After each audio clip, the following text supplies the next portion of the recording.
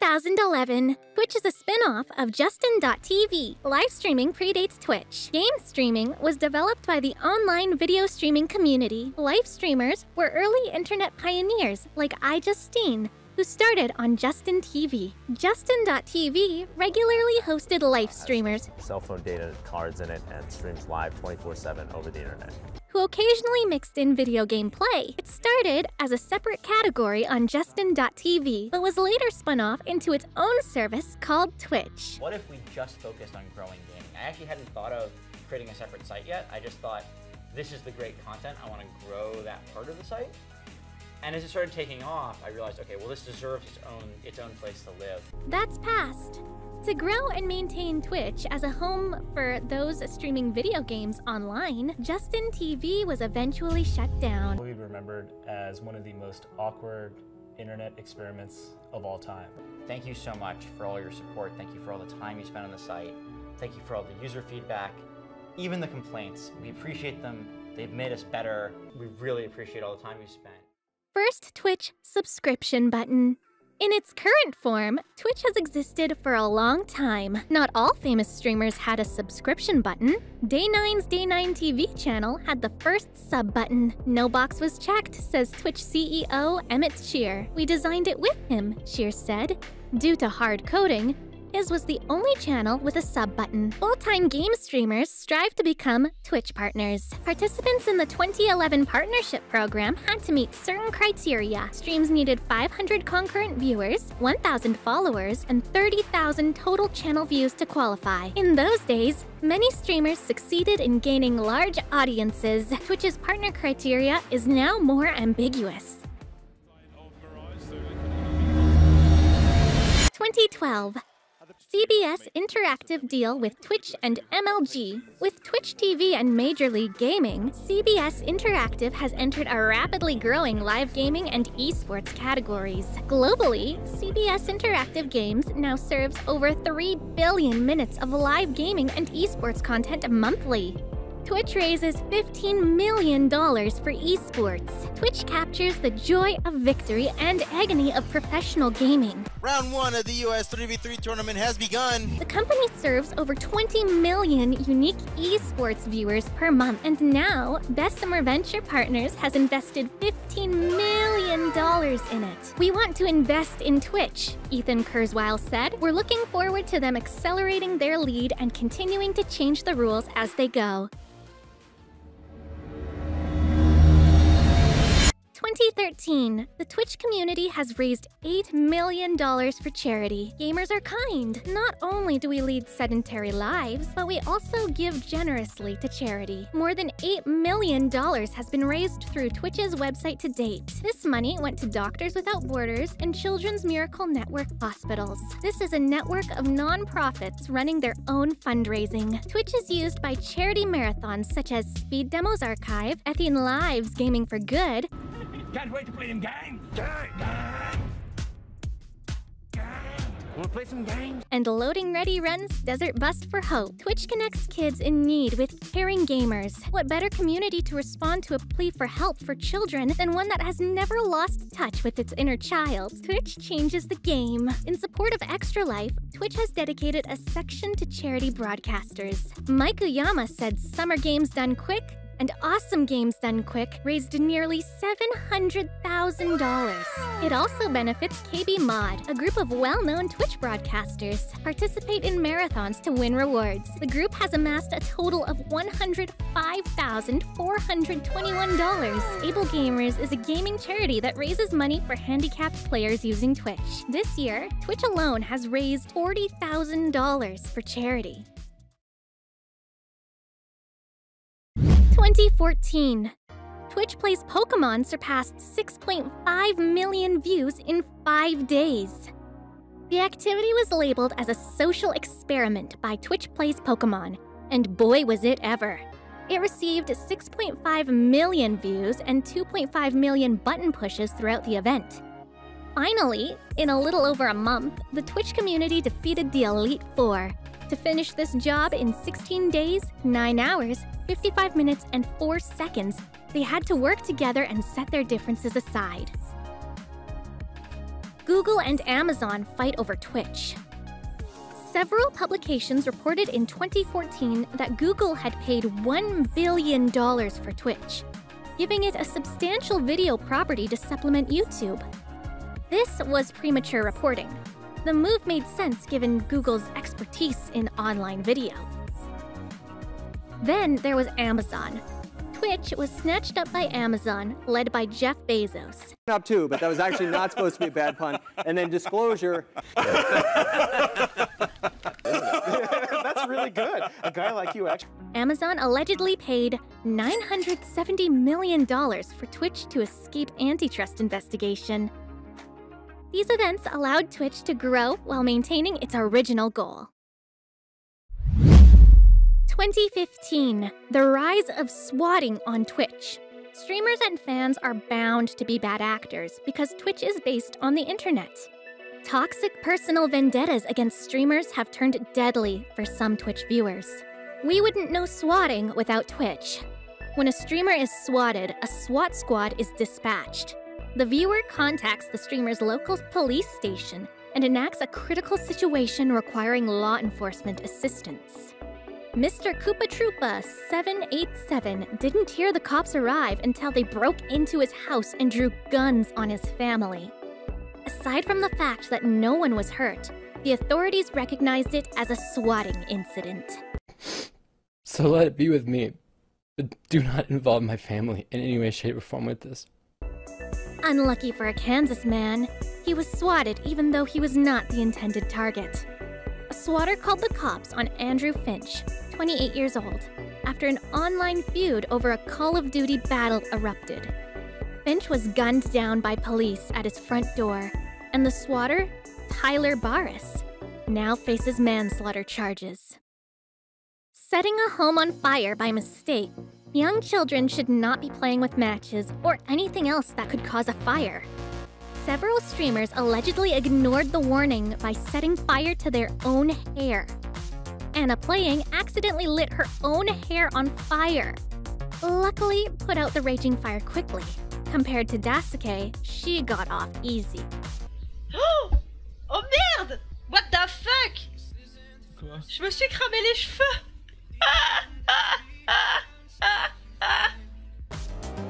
Dasuke paused his 2015 Minecraft stream to replenish his lighter collection. After spilling liquid on a lighter matchbox, he tried to light it with no success.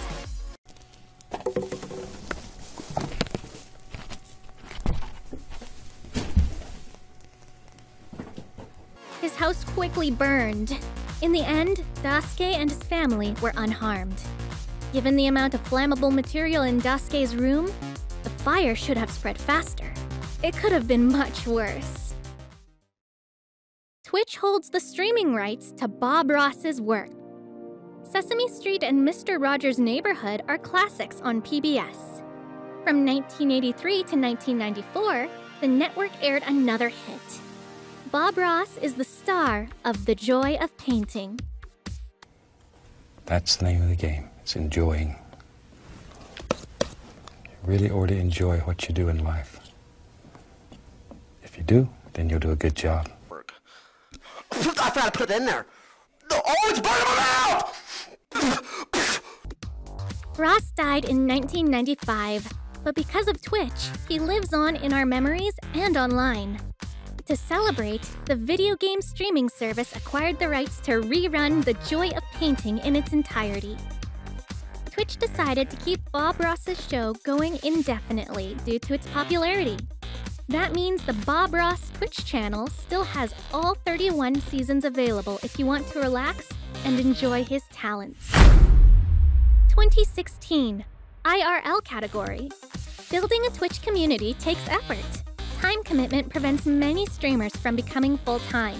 The IRL category was introduced late 2016, and it would be an understatement to say that most game focused broadcasters were unhappy. This decision enraged Twitch streamers. Some called the network's newcomers polarizing. Famous streamers like Professor Broman have complained about the IRL category. And even when he wasn't gaming, people expected him to broadcast. To help streamers better define their content, Twitch removed IRL category in mid September 2018. 2017, streamer who got swatted on a plane. In late April, a bomb threat at an airport was traced to Paul Ice Poseidon Denino. Law enforcement escorted him off his plane. Twitch soon banned him permanently. Denino then posted a video about the situation on YouTube.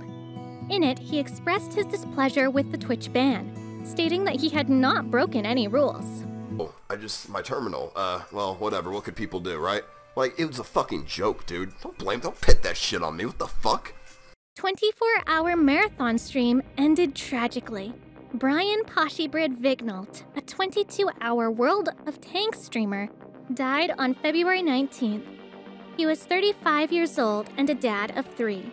Vigneault was streaming to benefit Make a Wish. Vigneault would stream for up to 20 hours on multiple days of the week. One of those weeks culminated in the charity stream. Stream moderators say Vigneault got up to smoke around 3:30 a.m. CST, 22 hours into his stream. Initially, viewers thought he dozed, but the next day a friend saw him on Discord and messaged him. No, it wasn't Vigneault. Instead, a detective from Virginia Beach Police said they were looking into Vigneault's death. 2018, Drake and Ninja have set a new Twitch record. Rapper Drake has taken an interest in Ninja, a prominent Fortnite streamer.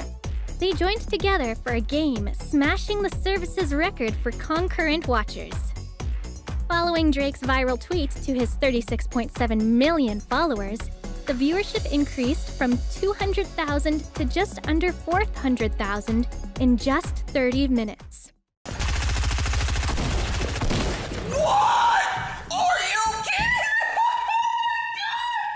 Drake and Ninja crushed the record for most concurrent viewers in a single stream, with over 600,000 viewers while playing Fortnite.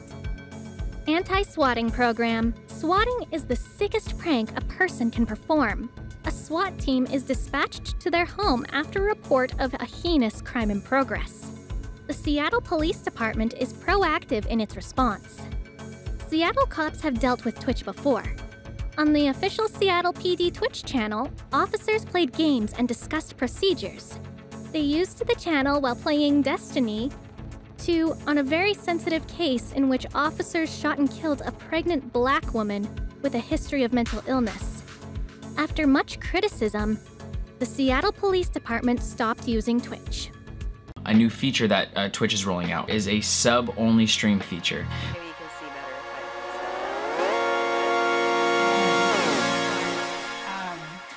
2019 Subscriber only streaming feature. Previously, streams were open to all, regardless of subscriber count. Let's go, 200 IQ, dude. Twitch wants streamers to be able to reward superfans like subscribers, VIPs, and moderators as they see fit. Would you take the goddamn $600 donation out of the way? Copyrighted music is frequently removed from videos of streamers.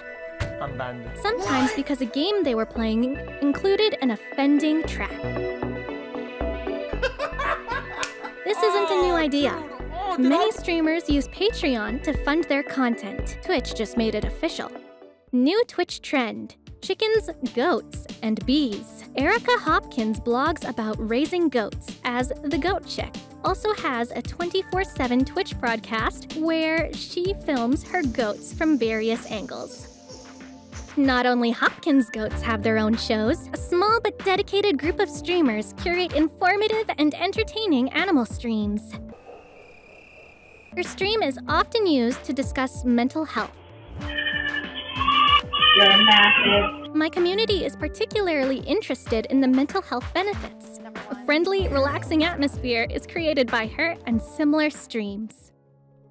Streamer sparks debate over breastfeeding. It is unclear whether Twitch's streamer's live breastfeeding of her baby violated the platform's rules of service, with some claiming breastfeeding is sexual content. A clip of Kent and her friend discussing a Sports Illustrated modeling audition was uploaded to Livestream Fail on Twitch. Kent was casually nursing her baby in this clip. Many Livestream Fail posters were displeased, accusing breastfeeding streamers of making money by exposing their bodies.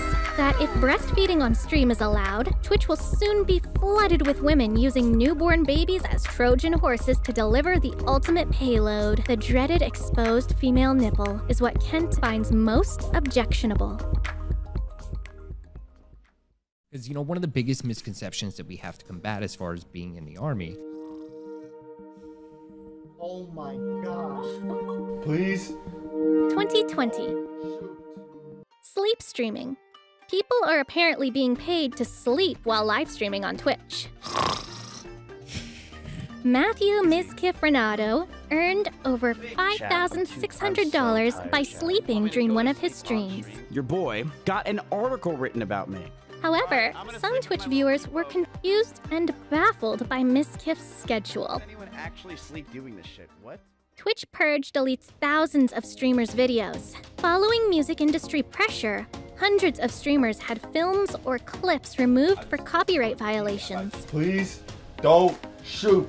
Twitch has removed problematic clips rather than simply alerting broadcasters and allowing them to take action. Please do not sue me. If I had broken the rules or guidelines, please let me know. Hey, but DMCA fiasco continues. In response to copyright claims and muted VODs caused by removed in game sound effects and footage, Twitch issued a lengthy apology three weeks later. It also clarified that Twitch began receiving thousands of DMCA notifications per week in May, up from around 50 per year prior. Twitch wrote, We sincerely apologize and promise to improve. US law could slap streamers with felonies. Given the stakes, the latest must pass law includes controversial proposals that would fail on their own. So that to me says that they will be enforcing this law once it's in effect. One of them would make copyrighted material streaming illegal. Senator Thom Tillis authored and supported the felony streaming bill. It is suggested that commercial streaming of copyrighted content will become a progressive policy publication. A song in an Instagram story would be a felony offense according to the American Prospect. For now, because streaming is considered a public performance, all offenses are misdemeanors. The policy that benefits big entertainment at the expense of the masses is easy to understand. Big corporations have given Tillis's campaign committee and leadership over $100,000 in recent years. U.S. Army tricking viewers with fake giveaways. Potential recruits can find the U.S. Army on Twitch. After banning viewers who inquired about war crimes, Dared for sale. What's up, man? Oh, cool. Nice. Have a nice time getting banned, my dude. fake controller giveaways linked to recruiting sites were common on the Army channel. Twitch claims it stopped the Army due to criticism. In chat, viewers could win an Xbox Elite Series 2 controller. A link to a recruitment page was provided, but there was no mention of a contest, odds, or total number of winners. This obvious deception was allegedly stopped by Twitch. Twitch promotions must follow all laws. The US military also sponsors Twitch Rivals, the company's esports brand and channel. The Army's logo will appear on esports broadcasts featuring popular games like League of Legends, Valorant, and even chess. We moved our queen out much earlier. Commentators occasionally mention the Army, which has irritated viewers. combat as far as being in the army. While being in the army, to the army, to the army, we have over 100. Twitch streamers are opening thousands of dollars worth of Pokemon cards. Opening a Pokemon deck and finding a holographic Charizard meant bragging rights for a $100 eBay sale. Those old cards and boxes are now rare and expensive. They are popular Twitch activities. For a month, nostalgia has flooded streams. These boxes can be expensive. Streamers open packs and sort cards in front of the camera. For example, a first edition holographic Dark Charizard sold for up to $9,000. The One True King streaming group was ecstatic when Ludwig Ahgren unboxed a holographic Dragonite during a charity live. People can't look away because they could never do it, but they may be a part of it with their favorite creators. They may feel like part of a wealthy elite, having previously held many of these cards. How, did you, how did you know? I know. How does he do it? Twitch suspended cosplayer slash body painter streamers. Twitch does not prohibit body painting on the face or chest. Body painting has its own category on Twitch. In spite of this, Twitch has suspended cosplayer slash body painter streamers who claim to have followed their rules. Obvious confusion in the rules and subsequent suspensions may give the impression of improper behavior, a desire to break the rules for illegal sexuality, or other reasons. So some Twitch users attack artists who are simply trying to create art. Lady, do you say hello? Uh. Boys, today I lob it in in the middle. 2021. Ludwig's never ending subathon. Ludwig Ahgren's 14th of March broadcast had no end date. For 31 days, Ahgren slept and streamed, late night podcasting and video chatting with I his a fans. question for you. A timer ticked away, but it wouldn't reach zero as long as viewers kept paying. Making history was mostly a laid back event. With this in mind, Ahgren tried to make the subathon useful to others. I don't have a boyfriend. Twitch.tv has a boyfriend. He donated around $350,000 of his subathon profits. During the subathon, Ahgren gained a million new Twitch followers, hundreds of thousands of paid subscribers, mainstream press coverage, and several social media trends. Twitch cracks down on viewbots. Viewbots, or fake viewers, are known to skew Twitch's statistics. In the Twitch ecosystem, they've long been used to deceive streamers into believing they're more popular than they are, and to punish those who oppose them. They're just there to inflate the ego and to inflate the numbers. However, some famous broadcasters had a large bot following. Felix XQC Lengyel lost 2.6 million followers in just a few days. They just removed them, so I lost like uh, two million followers, I think. This shocked Twitch fans. He still had 5.5 million, but it's gone down. Following of Chance, Sodapoppin Morris dropped from 6.5 million to 3.3 million in a week. His followers vanished in an instant. Shroud, Orion Play, and Myth all lost tens of thousands of followers. View count inflation persists on Twitch, so that tens of thousands of people appear to be watching when they are actually scrolling through. Twitch has done it on Reddit before. Twitch's homegrown Terminators are out looking for view bots. But the platform is far from transparent. Largest hot tub streamer loses ability to earn money from ads. The female Twitch streamer, Amaranth, can't run ads on her channel anymore, which ignored her. Her entire ad revenue had mysteriously vanished from her channel analytics. She was caught off guard because demonetization isn't widely known as a Twitch weapon. New Twitch category for hot tub section. Twitch created a category for hot tub streaming after advertisers and viewers complained about the trend taking over the site. The new pools, hot tubs, and beaches category is designed to make it easier for advertisers to block ads on broadcasts they don't like. The most cursed hot tub stream. George Not Found went out of his way to make his tub boy summer as painful as possible. Oh, wait, now my back! A step down from the cheap inflatable tubs that have come to symbolize the meta. His PVC scaffolding tub had a body resembling an old air mattress. Quackity, a Twitch and YouTube star, joined Davidson with his socks on. It hurt to watch, but he had an almost reasonable justification for it. Let's What go! the hell is this? Pokimane and other offline TV streamers, not hot tub streamers, had over 100,000 concurrent viewers at their peak. Comparatively, Amaranth, the most popular hot tub streamer, gets around 20,000 viewers. Twitch has been hacked and its source code leaked. 125 gigabytes torrent link with Twitch's source code and commit history posted by an unknown hacker. The link also includes streamers' earnings from 2019 and information about Amazon's stream competitor Vapor. 4chan described it as part one of an extremely poggers leak. The leak is intended to encourage more disruption and competition with online video streaming. We pwned them, they say. A large-scale leak will have immediate and long-term consequences. Twitch takes big-name streamers' earnings seriously, with millions at stake. A Vapor store would be integrated into the Twitch platform, and this is only part one, implying that more information may have been compromised. This is bad news for Twitch. Its ramifications worried Amazon a lot. It costs 970 million, and the hacker said he was giving it away for free. Thanks for watching. If you want more great content just like this, be sure to hit the subscribe button. Thanks for watching!